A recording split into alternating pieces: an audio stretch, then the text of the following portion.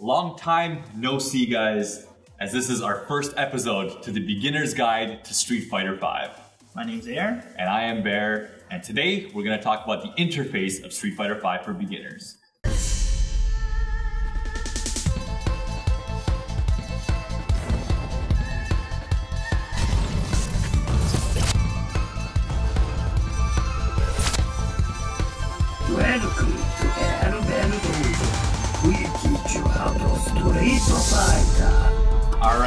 It has been far too long since I've sat next to you. Almost two years, huh? This has been, this is a new chapter for us, man. This is Street Fighter V, a new game, a new start for me so I can finally be better than you.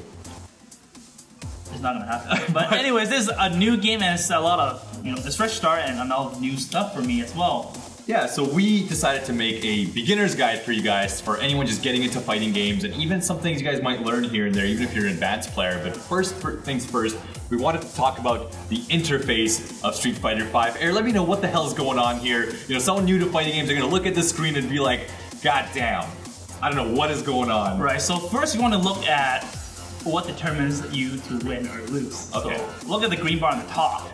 That's your life bar. Okay. And that determines, you know, how much life you have and how much damage you're taking off your opponent. For example, if I hit R. Mika here, those red, the red part, well, this is a training mode. That's why it's, you know, regenerating the health. Yeah. Usually this is how much damage you're taking off, off her.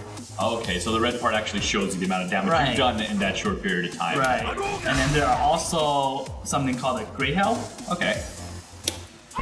So which, when R. Mika does that, see, those are gray health. Yeah. So gray health is when you you don't take actual damage, but you're taking like shadow damage, and then that's when you let's say that happens, and I hit you again. It only a sort one hit. You're losing damage on top of that. But then the gray health you can actually regenerate by time. Okay. You're not getting hit. That's why you're not getting hit. Okay, so it's not guaranteed damage, but if you get hit while you have gray health, you'll take the damage of the hit and the gray, like the gray Correct, health combined. So it's like definitely you want to run away maybe or play a little bit defensive Right. got the gray health.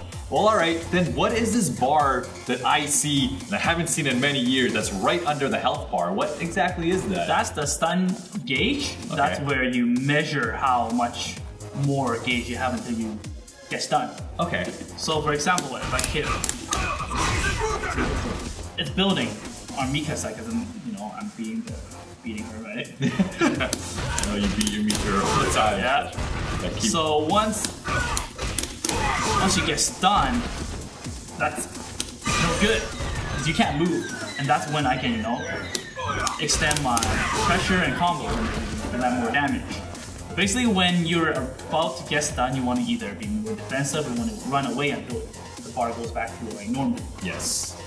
Definitely, because there is a bit of time where it starts to deplete Mm-hmm. if you're not doing anything for a while. So, and what is that in, in, in between the health bar? Right now, it's an infinite sign. Well, that's the timer. Uh, you know, that's the timer of the round. But right now in training most of the timer doesn't count. Yes. It doesn't count down right now. Uh, and now let's look at the bottom half of the screen.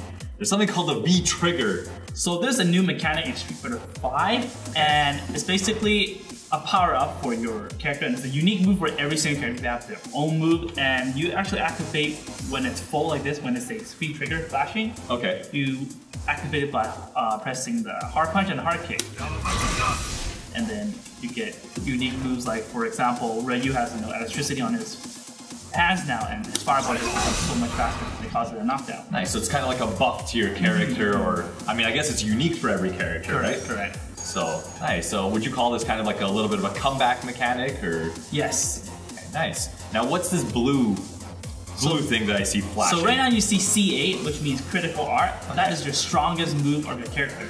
Okay. So for Ryu, the case would be oops. Ooh, super. Right. It usually gives you like a really long animation. Nice. But I noticed that when that re- recharged, there were three separate sections. Uh, you know that are slowly accumulating. Why is it split up into three different segments? Like, what are those segments? So once you, so before it flashes like the CA, Yeah. it says EX. So basically you can only use one bar each time to power up your special move. Okay. So for example, if I do a Hadouken. If I press two punches, it gives you a two hit and a faster projectile. Okay. But you spend one meter for that. So there are there's a variation of every special move that's a little bit stronger but costs a bar Correct. to do. And that allows you to do different combos or maybe things that weren't possible with the normal one. Now you can do it. Nice. Now I've watched a little bit of Street Fighter V footage in my time, and I know this is the interface, but once in a while when you do something, some stuff was gonna pop pops up from the side of the screen. So in the beginning of the battle, if you're the first person to attack someone's first, like that, it shows the first attack. I don't know what the point of it, because you don't do extra damage or anything. It just Yeah. shows you that. Who got the first hit? Right. For betting or something, right? And then there is uh, Cross ups, actually. Right. So it's really unique in this game. It actually makes it a little bit easier for newcomers. So when you do like a cross up, it shows you what a cross up is like.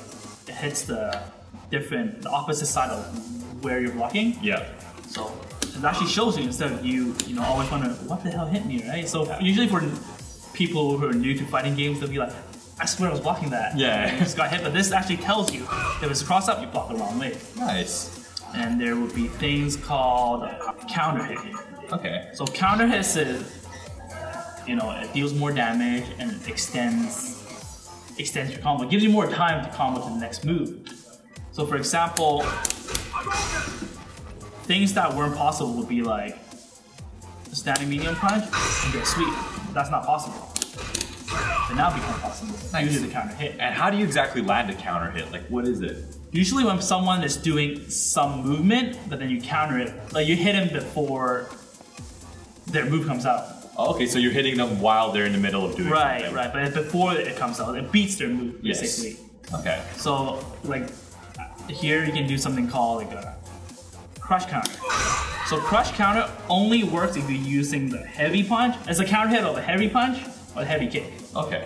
So let's say um, I notice my character just kind of flies there. when I hit Right, so every character has one that, not every character, most of the characters. Yeah. Let's say Ryu standing heavy punch, it knocks them like airborne, but you give you a, a free juggle at the same time. Oh, nice. But then uh, one stays on the ground, so like this, so you get extended combo. Basically, they're in like a like a stun like a split second stun state, Yeah. so you're allowed to uh, extend your combo. So, Air, what other new mechanics were added into Street Fighter V? Uh, they added something called a V reversal. Like you see down there, I only have one bar instead of two. When you have two, it becomes a V trigger. But you can also still use V reversal. But basically, V reversal, you use one bar to Okay. execute it, and it's something that you just you know get out of pressure. Okay. You can only you know during block, then you can do it by doing forward and three punches or three kicks, depending depending on the character. Okay, so So right now I don't have it, but you can use yours and block. Like that. Well, I guess that just about wraps it up for the extreme basics of Street Fighter V. You know, a lot of these things we talked about we'll definitely be getting a little bit more in detail of. So, So in the future episodes, we'll be explaining each one of these uh, mechanics in depth, and just to make sure you guys you know follow us. yes. So until next time, guys. Don't mind Air, guys. He's being a little bit of an idiot. Thank you so much for watching this episode of AirBehr Dojo. This is a new channel for us, so it means a lot. Please subscribe to our channel, follow us on Facebook and Twitter. Peace out.